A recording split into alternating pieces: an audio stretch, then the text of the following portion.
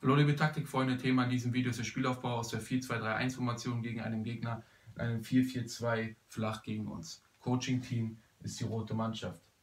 Wenn wir uns jetzt mal die beiden Formationen auf der Tafel anschauen, können wir erkennen, dass wir eine kleine Überzahl hier im Zentrum haben. Wir haben zwei Sechser und einen Zehner. Der Gegner spielt nur mit zwei Sechsern, aber dafür mit zwei Stürmern.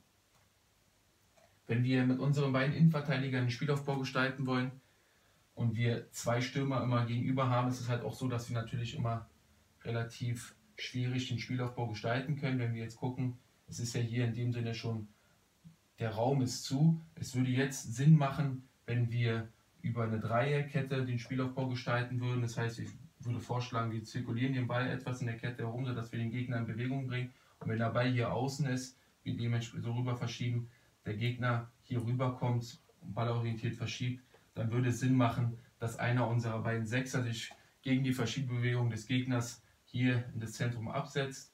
Dadurch haben wir dann jetzt die Möglichkeit geschaffen, hier mit unseren Innenverteidigern breit zu gehen, hoch zu gehen. Die ziehen weiter hoch, die auch. Bewusst etwas ins Abseits, sodass wir hier wirklich die Linie oben tief halten. Und dann haben wir hier jetzt schon wieder ganz andere Möglichkeiten, weil wenn der hochzieht, wird der Gegner auch mitgehen. Und wir haben jetzt hier eine 3 gegen 2 Aufstellung wo wir hier nochmal die Möglichkeit haben, dann viel besser in die Halbräume zu kommen. Des Weiteren würde ich, um das, um das Zentrum zu stärken, auch sagen, dass unser Zehner dann hier auch wirklich hier nochmal reinfallen lässt, sodass wir hier auch nochmal mindestens 2 gegen 2 haben. Wenn wir jetzt sogar noch sagen wollen, unser Stürmer hier vorne soll auch noch weiter reinkommen, um hier das Zentrum mal noch wieder nochmal Überzeit zu schaffen, spielen wir dann in dem Sinne ohne Spitze, aber allerdings mit sehr breiten Flügeln, die sich dann natürlich auch wieder etwas mittig stellen können, sodass wir dann hier nochmal Möglichkeiten für unsere Außenverteidiger schaffen. Viele Möglichkeiten, die wir hier natürlich vorfinden, je nach Trailerphilosophie, je nach Spielermaterial, was wir natürlich auch da haben, Spielertypen, aber hier macht es dann natürlich Sinn, nach innen zu kommen, sodass wir die Linie auch nur noch einfach besetzt haben.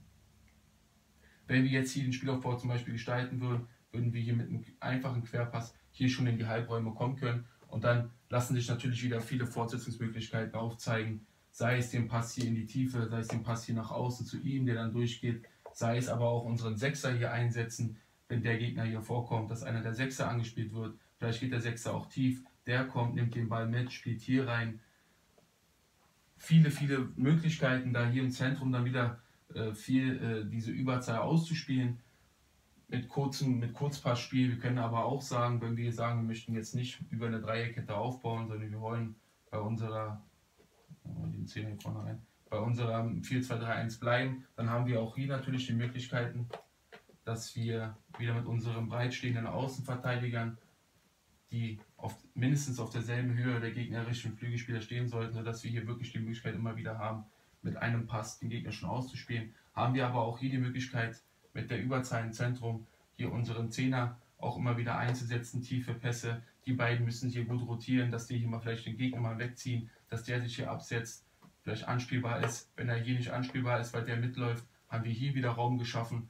Das heißt, wir haben dann mit drei Mann Über, äh, im Zentrum Überzahl, das wir natürlich ausnutzen sollten, indem wir uns hier wirklich gut getimt, gut abgestimmt bewegen, Räume schaffen, sodass wir hier in diese tiefen Räume auch wieder reinkommen. Wenn der sich hier drehen kann, haben wir hier auch wieder viele weitere Möglichkeiten, vielleicht hier tief zu spielen, runter zu spielen oder auch hier in diesem Raum zu spielen. Natürlich ergibt sich auch immer wieder die Möglichkeit, vielleicht mal einen gut getimten, gut gespielten Diagonalpass zu spielen. Wenn wir jetzt hier oben sind, Ball rausgespielt haben, Gegner orientiert sich, Ball orientiert, dann haben wir hier natürlich auch wieder Räume geschaffen, wenn der sich hier gut absetzt. Ja, dass wir dann hier vielleicht auch mal einen guten Diago-Ball hier reinspielen können. Diese Möglichkeiten ergeben sich natürlich auch immer. Wichtig nur für mich, dass wir halt sagen können, wir haben Überzahl im Zentrum, dass wir die best, äh, möglichst, bestmöglichst ausnutzen sollten. Spielaufbau über die Dreierkette, die sich immer ergibt, wenn wir mit zwei Innenverteidigern gegen zwei Stürmer spielen, weil wir so viel besser in die Halbräume hier kommen können. Und dann gibt es viele, viele weitere Fortsetzungsmöglichkeiten, die wir dann äh, ausspielen sollten. Vielen Dank.